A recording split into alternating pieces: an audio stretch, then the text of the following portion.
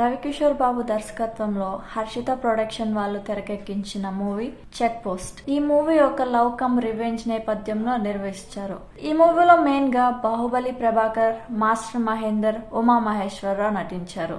అలానే ఈ మూవీలో మెయిన్ లీడ్లో సుజాత గారు కూడా నటించారు. బాహుబలిలో కాలకేయ క్యారెక్టర్ చేసి మంచి గుర్తింపు తెచ్చుకున్నారు ప్రభాకర్ గారు. తను ఈ మూవీలో ఒక మంచి రోల్లో యాక్ట్ చేశారు. అలానే మాస్టర్ మూవీ ద్వారా మనందరికీ బాగా సుపరిచితమైన వ్యక్తి మహేందర్.